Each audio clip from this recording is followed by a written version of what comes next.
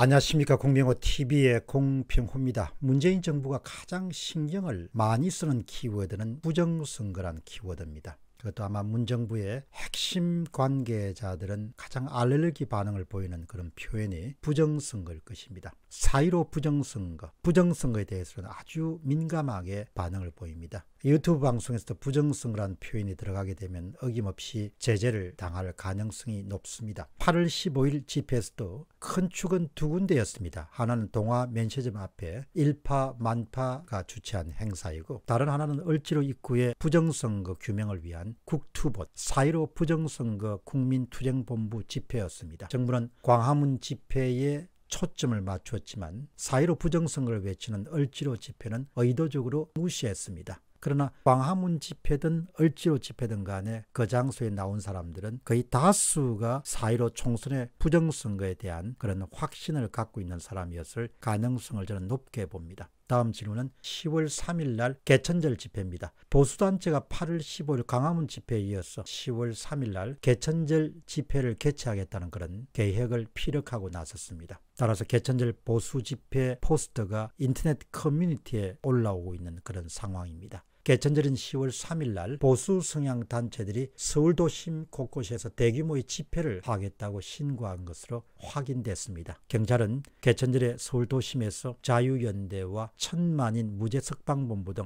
보수 단체가 최소 수천 명에서 최대 3만 명 규모의 집회를 신고했다고 9월 4일 날 밝혔습니다. 앞서 서울시는 서울 전역 10명 이상의 집회를 금지시킨 바가 있고 이들 단체들이 집회를 강행할 경우에 경찰은 집결 단계로부터 시작해서 차단에 나서겠다는 그런 계획을 확인하고 있습니다. 그러나 보수단체들은 지난 광화문 집회처럼 법원에 5개 집회 금지 가처분 집행 정지를 신청해서 개최를 시도할 가능성이 높습니다. 서울 종로경찰서에서는 자유연대가 교보빌딩 앞 강화문 KT 건물 앞 시민열린마당 앞 경북궁 옆 인근에 개천절 집회 로 각각 2천명을 신고했습니다. 우리 공화당 산항의 천만인 무죄석방본부도 세종로 효자치안센터 인근에 3만 명을 신고했습니다. 서울 남대문 경찰서에서는 태극기 혁명 국민운동본부 국본과 천만인 무죄석방본부 등이 을지로 입구역 인근에 수천 명 규모의 집회를 신고했습니다. 이날 집회를 신고한 보수단체 집행부 관계자들은 행정당국으로부터 금지 통보가 오게 되면 행정소송을 할 계획을 갖고 있다 이렇게 밝히고 있습니다. 한편 최근 소셜 네트워크 서비스와 온라인 커뮤니티 등에는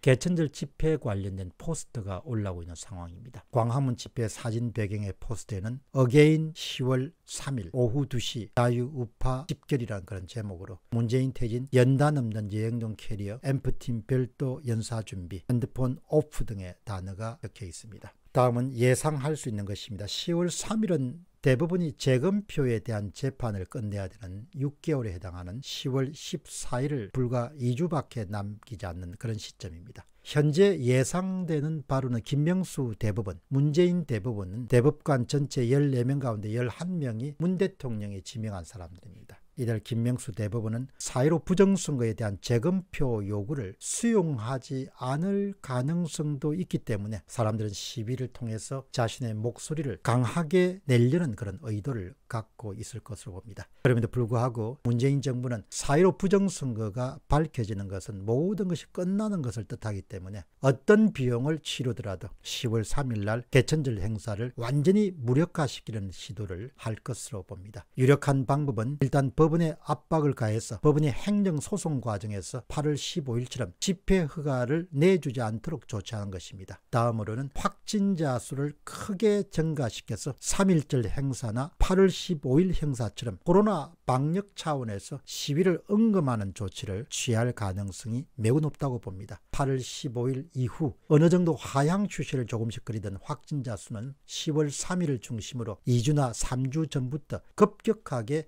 확진자 수가 폭등하도록 유도할 그런 가능성을 저는 높게 봅니다. 현재처럼 항체 보유율이 크게 높아진 상태에서는 검사 대상자 수만 늘리면 늘릴수록 얼마든지 확진자 수를 크게 만들어낼 수 있기 때문에 이것을 바탕으로서 대대적으로 방송과 신문을 동원해서 선전선동을 행할 것으로 봅니다. 저 무지랭이들이 코로나19의 확산 속에서도 대규모 시위를 벌림으로써 공중의 건강을 위협하고 있다. 이런 비난을 마구잡이로 저는 쏟아낼 것으로 봅니다. 그들은 부정선거가 들통나는 거 아닌가 하는 문제는 단순한 문제가 아니고 죽고 사는 문제이기 때문에 본인들이 동원할 수 있는 모든 종류의 도구와 수단을 동원해서 그 대규모 시위를 무력화시킬 것입니다. 그런데 지금부터 한 달 정도는 미국의 대통령 선거 정국이 클라이맥스 절정을 향해서 달려가는 그런 시점입니다. 미국에서도 우편 투표 부정 문제가 공화당과 민주당 사이에 첨예한 그런 쟁점이 되고 있습니다. 4.15 부정선거와 중국 개입설이 미국의 대선 과정에서 터져 나올 가능성도 배제할 수가 없습니다. 너무나 관내 사전투표, 관내 사전투표가 미국의 우편 투표와 너무나 유사하기 때문입니다. 쉽게 이야기하면 4.15 총선이 국내 문제가 아니라 국제 문제로 비화될 수 있음에 우리는 주목하게 됩니다. 중국이 자신의 민주국가의 선거에 개입해서 전체주의 체제를 도모하는 그런 경우도 한국 사례가 간주될 수가 있습니다. 그러니까 중국 공산당의 패권 추구 전략이 한국의 민주주의를 와해시키고 한국의 특정 정치 세력과 제휴를 해가지고 한국의 민주주의 체제를 붕괴시키는 그런 사례로서 한국 사례를 미국 대선에서 어젠다로 등장할 수가 있다. 이렇게 볼 수 있겠습니다. 국제적인 이슈가 되면은 그때는 한국 대부분이 재검표를 뭉갤 것인가 아닌가의 문제를 넘어선다고 봅니다. 외부로부터 한국의 부정선거 문제가 만만찮은 그런 이슈로 등장하게 되면 10월 3일 집회는 새로운 차원으로 발전하게 될 것으로 봅니다. 그러나 그런 모든 것이 다 차단된 상태라게 되면은 이미 8월 15일 날 선전선동으로 광화문 집회에 참가한 사람들을 범죄 집단으로 몰아넣던 것과 마찬가지로 10월 3일 날 또 다른 범죄 집단을 양산함으로써 아예 사람들이 두려움 때문에 걱정 때문에 우려 때문에 광화문에 나올 수 없도록 그렇게 만들기 위해서 문재인 정부는 모든 것을 다 동원할 것으로 봅니다. 그렇기 때문에 앞으로 남은 한 달 동안이 상당히 중요한 시기라고 봅니다. 자유우파 시민들뿐만 아니고 또 부정선거를 은폐하고 정권을 유지해야 될 문재인 정부로서도 대단히 중요한 시기라고 봅니다. 외부로부터 어떤 종류의 쇼크가 주어질지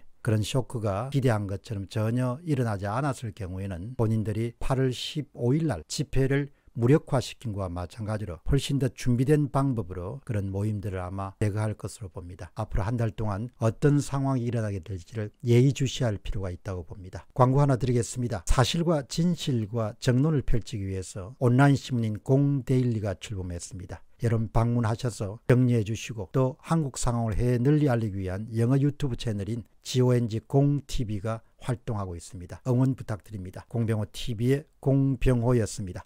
감사합니다.